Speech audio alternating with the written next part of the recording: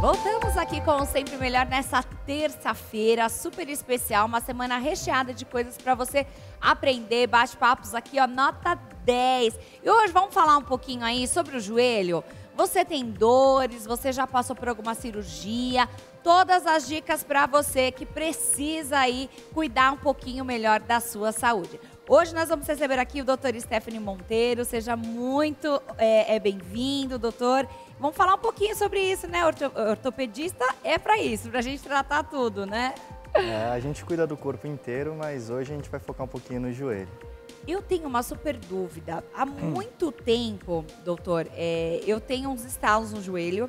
Uhum. E assim, quando abaixa, levanta e dá um estalo no joelho. E já pensei que poderia ser algum problema, mas nunca fui atrás. Acho que muita gente já tem passa por isso, até brinco, eu falo, eu sou crocante, porque várias partes do meu corpo estrala, mas o joelho principalmente. É um problema quando tem esses estalos? Então, é uma queixa muito comum no nosso consultório, né? É, mas assim, a gente tem que pensar nos estalos de algumas formas.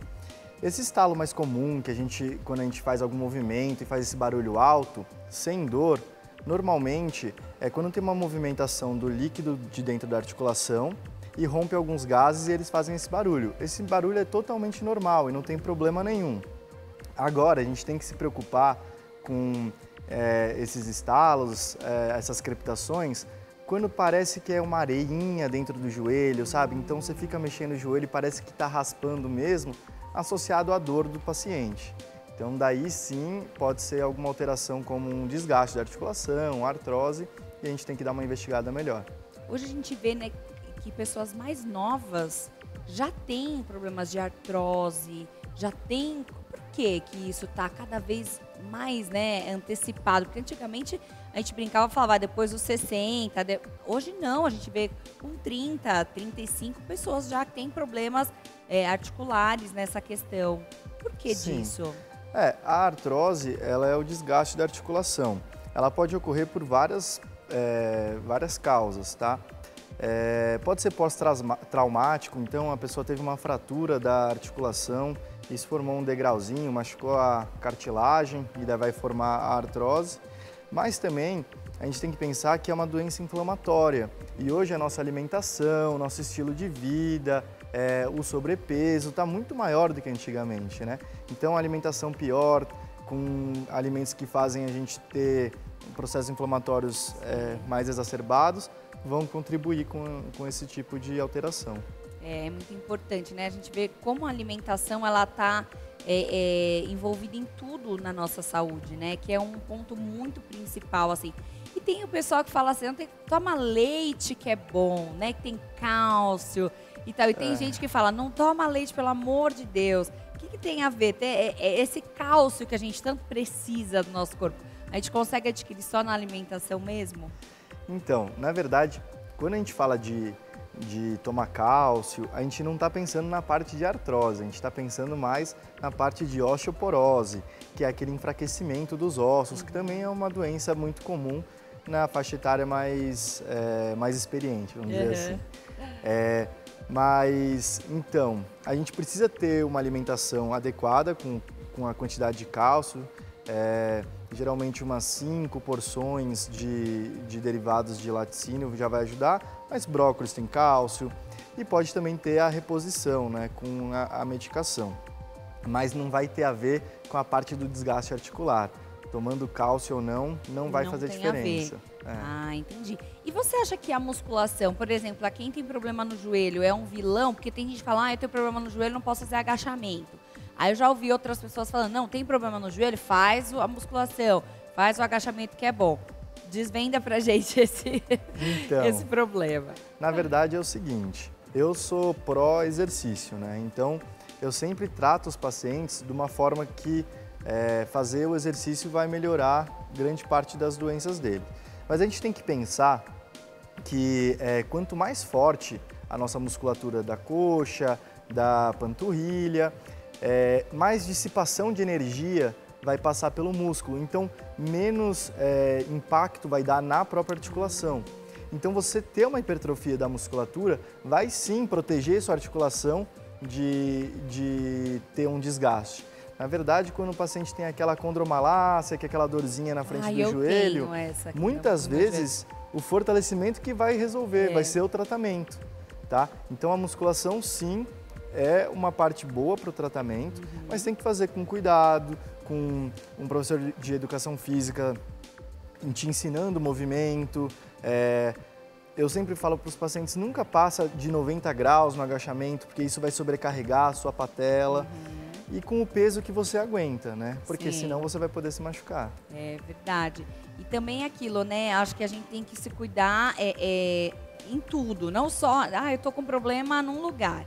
Aí a pessoa só foca naquilo e esquece o resto, né? Sim. Então acho que você tem que fazer sempre é, é, esse tratamento como um todo. Acho que o, o, nosso corpo, ele é uma máquina, né? Então Sim. se tem uma coisinha ali que está fora do lugar, né? Um joelho, por exemplo. Eu tinha, tenho condromalácia no joelho direito colocava muita força para um lado só.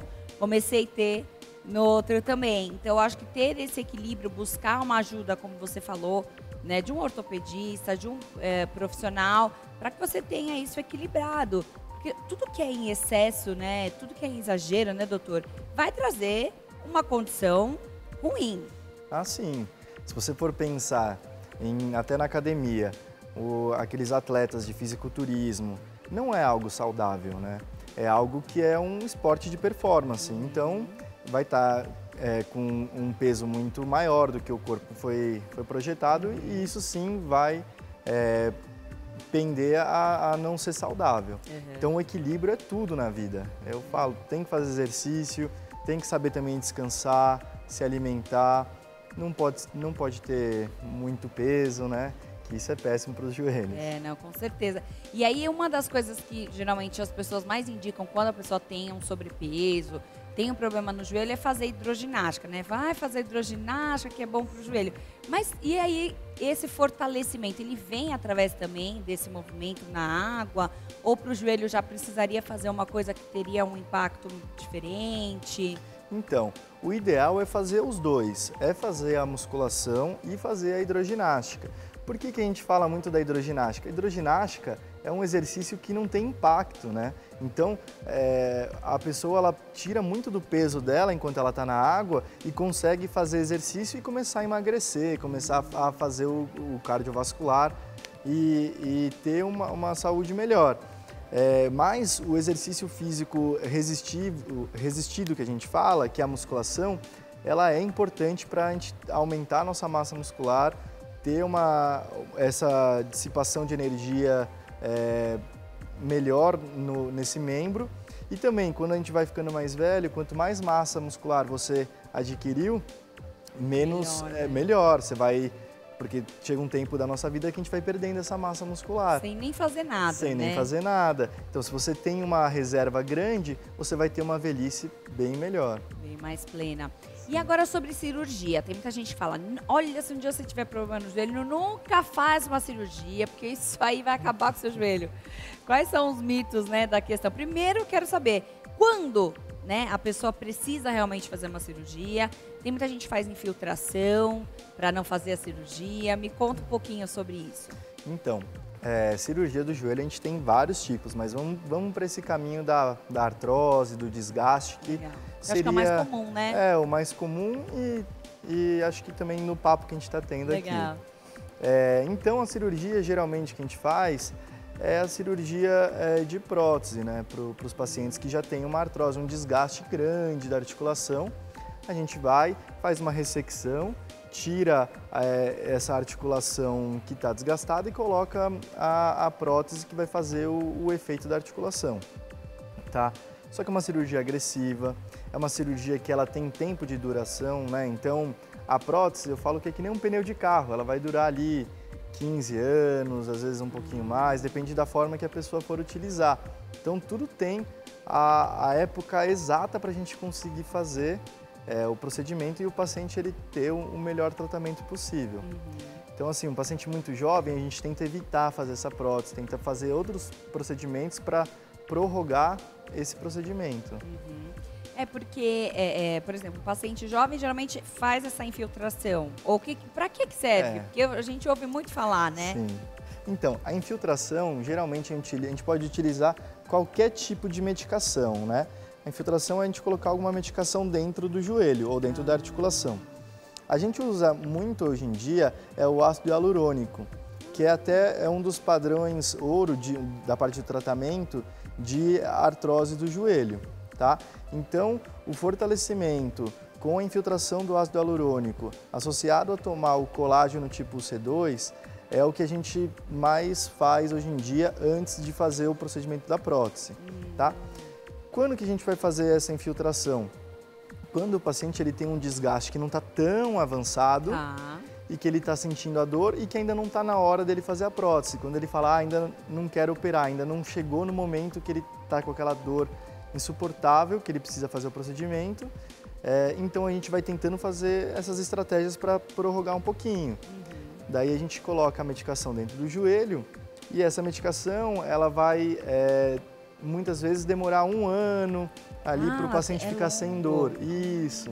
Então se você faz bem indicado, o paciente ele fica ali oito meses, um ano sem dor e consegue ir melhor para físio, fazer o fortalecimento melhor e ter um desenvolvimento melhor do tratamento. Muitas vezes nem precisa repetir, né? Essa infiltração ou precisa, depende muito do A caso. maior parte das vezes os pacientes eles repetem, mas tem alguns casos que o paciente volta depois de um ano e fala, ah, vim fazer a, a infiltração. Daí eu falo, mas está com dor? Não, então não precisa. Então a gente Uhum. vai continuar fazendo. É porque não é, não- é chato fazer fisio- fisioterapia. Vamos combinar que é uma Sim. coisa que é maçante fazer, mas é muito necessário. E tem muita gente que precisa, tem a indicação, a pessoa vai, faz uma, duas sessões, ah, não tá resolvendo nada, para Sim. e volta, né? Ai, doutor, não, não tá dando. Então tem que ter essa disciplina também no tratamento. Acho que é muito importante para que dê certo. Sim. E também muitas vezes o paciente fala, ah, não tenho tempo porque eu tenho que trabalhar. Eu tenho um grande amigo meu que é cardiologista e ele sempre fala essa frase para mim. É, e eu sempre repasso para os pacientes. Quem não tem tempo para a saúde depois vai ter que arranjar tempo para a doença. Então você tem que se Boa. cuidar agora que dá tempo de ter um melhor tratamento e mais simples, senão você vai de qualquer jeito para prótese, que é um tratamento muito mais agressivo e que vai te limitar muito mais. E eu acho que muitas pessoas também acabam. é, ah, não, é dor no joelho, é dor no pé, é dor no. Ah, eu vou deixando, porque enquanto eu consigo trabalhar, vou deixando. Mas aí, se a pessoa tem um problema no coração, ela não deixa para depois, ela já vai resolve. Né? Sim. Se ela tem um problema assim mais sério, então a pessoa acha que não é uma coisa que pode depois trazer um malefício para ela. Mas muita gente acaba até se prejudicando para trabalhar, para fazer as suas próprias atividades. Até um, sim, uma simples coisa que é levantar, sentar, que é o que você falou. Vamos, a gente vai perdendo massa magra, né, musculatura, conforme vai passando a idade. Então, se exercitar, fazer é, é, o- um, controle anual também acho que é importante. Porque a gente faz exame de sangue, a gente faz, mas a gente nunca faz um check-up no ortopedista. Sim. É recomendado isso não é necessário? Só procuro quando eu tiver dor.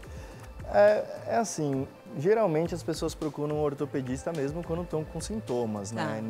É muito raro, só quando é um atleta de alto, alta performance que quer fazer um acompanhamento preventivo, daí a gente vai fazendo o acompanhamento. Mas normalmente as pessoas não procuram muito a gente. Mas assim, uma coisa que eu, que eu falo, sentiu dor é o seu corpo te avisando, tem alguma coisa errada. Então verdade. vem, vai descobrir o que, que é. Às vezes com uma simples é, exercício físico, perder um pouquinho de peso já vai te evitar um grande problema lá na frente. É, a gente vê até sobre essa questão do peso, né? Muita gente, quando é, é, chega num- numa questão de fazer uma bariátrica, por exemplo, uma das maiores queixas que a pessoa faz geralmente é: ah, não consigo mais andar. Eu tenho essa. é, qual que é o impacto que causa no corpo o sobrepeso, doutor? É, a gente tem que pensar que as nossas pernas, quadril, joelho, tornozelo, eles são como se fossem os nossos amortecedores. Quanto maior o peso, maior a energia que passa ali na, na sua articulação. Isso vai causar um desgaste. É como você pensar com um carro. Se você tiver um carro que você vai colocar muito peso sempre em cima dele, você vai ter um desgaste maior. Se você usar ele de uma forma mais leve, você vai ter um desgaste menor. É, é um desgaste mecânico mesmo. Tá, é como se fosse realmente, então, um carro que você vai colocando peso em cima Isso. dele, né? E é tão engraçado porque aí a pessoa começa a emagrecer e aí some tudo, né? Some as Muita. dores, muita gente acaba realmente tendo uma nova vida, né? Sim, geralmente quando perde bastante peso, a pessoa ela, ela fala que melhora a dor lombar, dor nos joelhos, é, começa a ter uma respiração melhor, mas tem que lembrar também que só o peso, perder só peso não é, não é também a, a... milagre, né? É, e, e, e o segredo. Porque você tem que perder peso, mas você não pode perder massa magra. Porque o seu músculo tem que estar forte. Então você tem que perder da forma certa, né? Muitas vezes o que faz bariátrica perde muito peso, mas perde muita massa magra.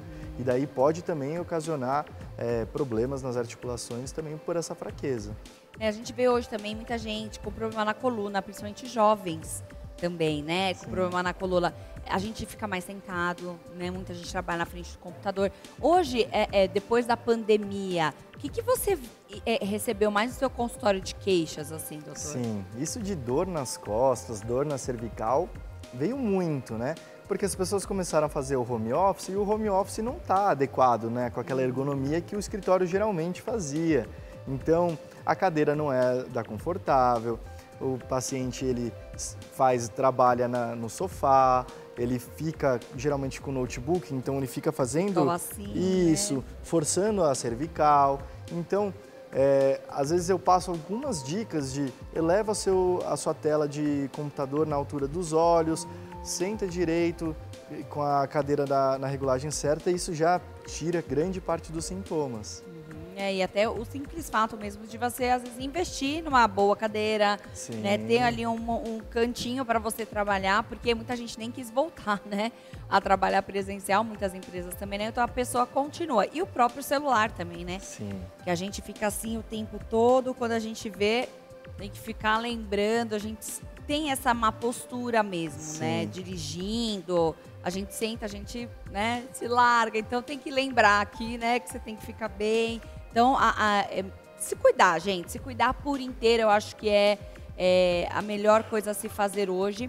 E, e eu queria que você desse uma dica aí, para quem está em casa, que está aí passando dor no, no, corpo, dor no joelho, o que, que seria aí a melhor coisa para ela fazer?